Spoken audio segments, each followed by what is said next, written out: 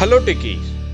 In this session, we will learn how to work with update a row in selected environment action, which is available in Microsoft Dataverse. Alright, let me drag and drop this action onto the workspace. The main purpose of this action is to update or add a row in a table in a Power Platform environment. It is nothing but upsert action. What is an upsert? An upsert is a database operation that will update an existing row if a specified value already exists in a table and insert a new row if the specified value does not exist in the table. Alright, that is nothing but upsert a row in a table. Now, first we'll talk about the connection references. Connection reference, it is nothing but it is going to be connecting the Power Automate desktop and the Microsoft Dataverse by using connection references. We have already seen how to connect Power Automate and Dataverse by using connection references. Now, the first parameter is that the environment. We want to update a row in the selected environment, correct? So in that case, we are going to select the environment by choosing environment parameter. Let's click on the drop down and then I have selected the development environment. Now, the second parameter is the table name. We'll get all the table names once you have selected the environment which are available. Let me drop down that. There you can see. Right now, I'm going to give the product table. I have renamed the product table to product. Now, the entity name is that product, right? I'm going to select the product. And there you can see the another parameter is the row ID. This row ID is nothing but the GUID column. The row ID is the unique ID of the row that we are going to retrieve it. Let me switch to make.powerapps.com. Right now I am in the products table. As I told you, I have renamed product table to products. And there, if you observe, this is my product GUID or row ID, which it will create automatically with the same name of the table. All right. Now, if you see the products is the entity name and there you can see I'm having the column that is row ID or the GUID with the same name of the table. By default, all the tables having a single GUID that is unique identifier column. This is the product ID is our unique identifier column. How can we go ahead and get this row ID from our Power Automate desktop actions? In our previous session, we have worked with list rows from selected environment. There we can get the row ID. Let me show you that. Let me enable this action. For the time being, I'm going to disable this update a row in a selected environment. Now let's run the flow to see the output for the list rows from selected environment. Flow execution started. There you can see it is trying to retrieve all the rows from the particular table that is products table by using list rows from selected environment action. The flow has executed successfully. Now let me show you the flow variables output that is list rows with organization. Let's double click on that. There you can see inside my values, I am having all the rows which are available in the products table in Dataverse, right? Now, if I'm going for the item zero, let's click on more.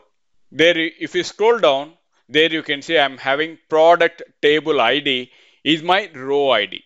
At the time of creation of product table that I have given, product table is the name. That's why the ID, which is having the row ID, by default, it has been created product table ID. This is my ID. There you can see if you copy this, if you go back to the Microsoft Dataverse table, that is product table, there you will find with the ID 1. Here you can see the same row ID is matching with the ID over here, that is product table ID. All right, let's click on close. Now, once again, let me enable the update a row in a selected environment and let's double click on that. Now, the same row ID I'm going to pass at the parameter in this update a row in a selected environment. For the row ID, I'm having product ID as 1. And what is the product price? There, if you see for the one, I'm having 1000 rupees, right? I'm going to update the values over here as the first action. I'm going to give the product value as 2222 rupees. And the remaining parameters, I'm not going to give it. How it is going to be updating? Now, the data will be updated based on the row ID. If the row ID is exists, then the remaining values will be updated. If the row ID or the GUID is not available, in that case, it will be adding a new row in the Dataverse table that is product table.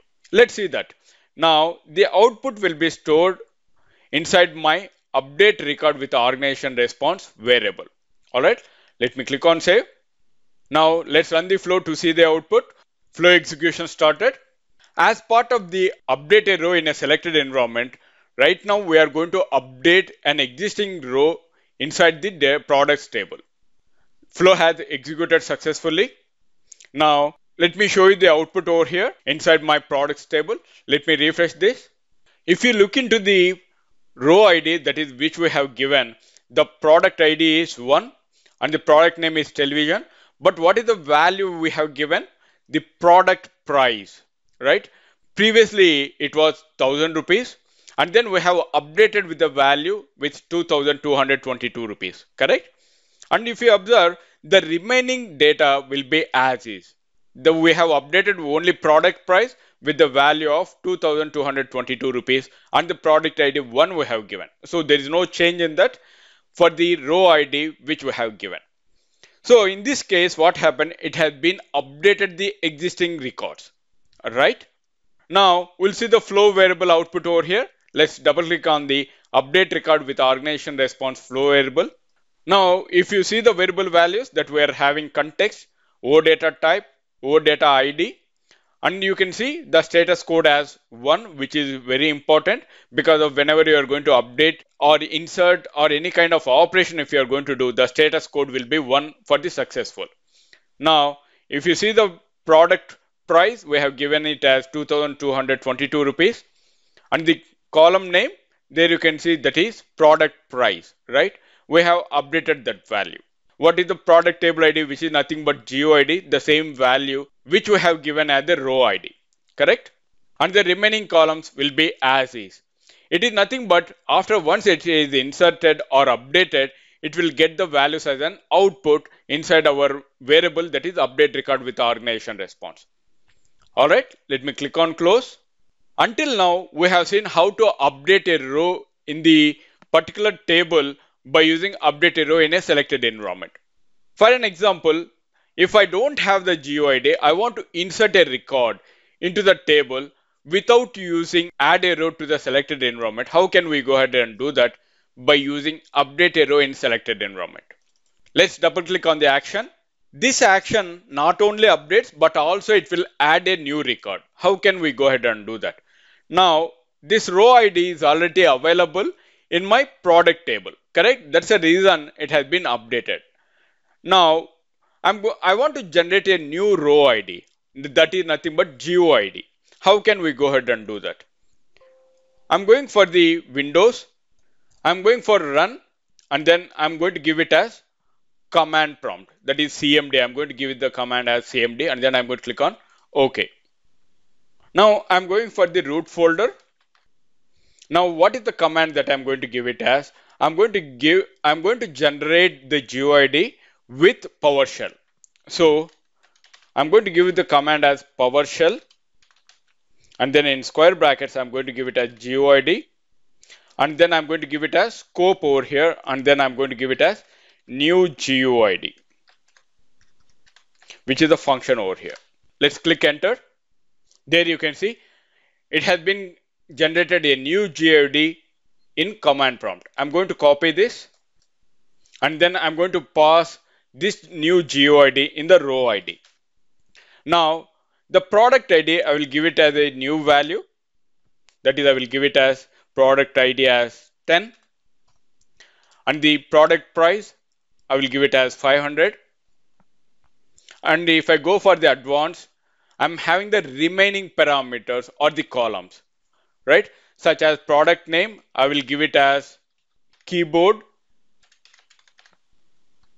and product category, I will say computer, right? Simply I will go for computer and then I'm going to click on save. Once this action will execute, what will happen? It will insert a new record inside the product table. The reason is that the GUID is not available in the product table, correct? Let me go back to the product table once again. There you can see I don't have with the product ID as 10 and the GUID which is very new GUID which we have generated. It will insert new GUID and then product ID as 10 and then product name as keyboard and product price we have given 500 and product category it has been given it as computers right now let's run the flow to see the output flow execution started flow has executed successfully now we'll go back to the Dataverse table, that is products table. Now let me refresh once again this products table by clicking on refresh. Now if you see over here, the product ID 10 has inserted. Now we'll open the command prompt once again. And I'm going to keep side by side over here. The reason is that the GUID is important. Now this GUID is not available in the product table, that is in the product row ID column so that it has been inserted. Whenever we have given the existing record, in that case, it has updated, right? For the product ID 1, it has been updated. Now, whenever we are going to give it the new GUID, it has been inserted. All right. I hope you understand how to update an existing row or to add a new row by using the action called update a selected row in selected environment action.